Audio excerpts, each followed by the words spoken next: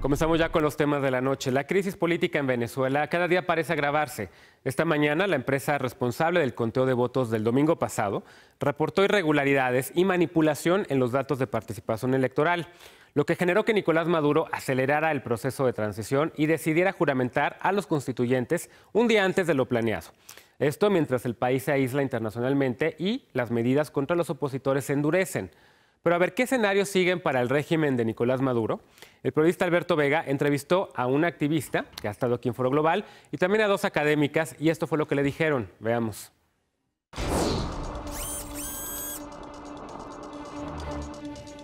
Tras la elección de un nuevo poder legislativo afín al gobierno de Nicolás Maduro, Venezuela no tiene un panorama claro.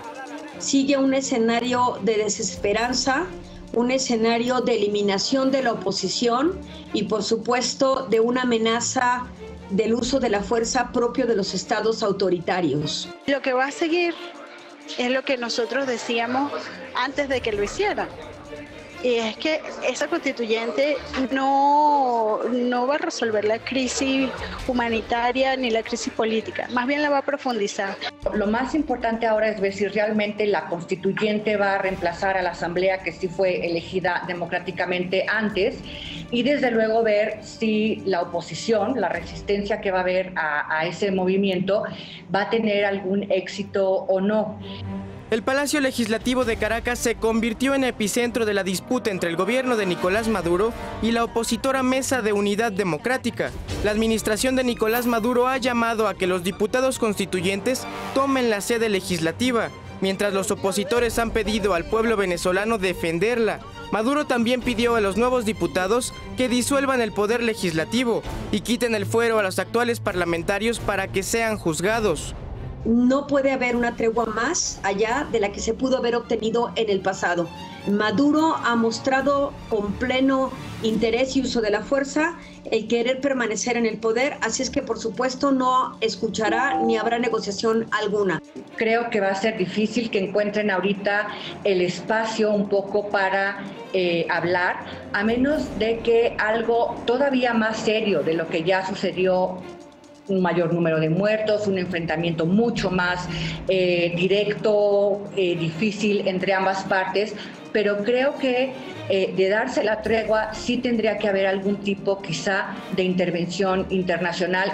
19 países en el mundo condenaron la elección de la Asamblea Constituyente, calificándola como ilegítima, inconstitucional y antidemocrática. Aunque algunas naciones latinoamericanas aún apoyan a Maduro como Bolivia, Ecuador y Nicaragua, 11 países acordaron una próxima reunión para adoptar medidas contundentes contra el gobierno venezolano, que se sumarían a las sanciones de Estados Unidos, el Reino Unido, la Unión Europea y la Organización de los Estados Americanos hay muchísimos países que ya se pronunciaron y desconocen esa Asamblea Nacional Constituyente fraudulenta.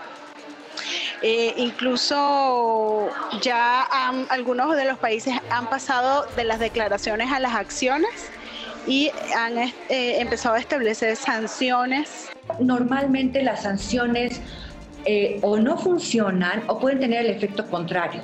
Eh, el seguir aplicando más sanciones al gobierno de Maduro puede fortalecerlo en el sentido de decir yo tengo que reaccionar a una asfixia por parte de la comunidad internacional. La comunidad venezolana va a padecer el efecto de las sanciones internacionales, pero también eso va a generar una presión al interior del Estado venezolano que tal vez conlleve precisamente a esta flexibilización del diálogo, que Maduro eh, necesita para poder generar los espacios de representación de la oposición en Venezuela, que es la única esperanza que se tiene para la democracia si es que queda algún viso de ella.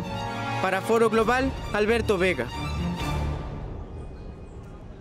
Todo un tema, la empresa Smartmatic, que era la encargada de, de contar los votos emitidos eh, por la Asamblea Nacional, hoy denunció que hay un, por lo menos un millón de votos que fueron manipulados, que no, no cuadran las cifras que ofrece Smartmatic con las que ofrece el gobierno venezolano. Por supuesto, ya la Comisión Nacional Electoral de Venezuela descalificó la denuncia de Smartmatic y esto también ocurre mientras los gobiernos del Mercosur se preparan para el próximo sábado evaluar si expulsan políticamente a Venezuela de este acuerdo comercial.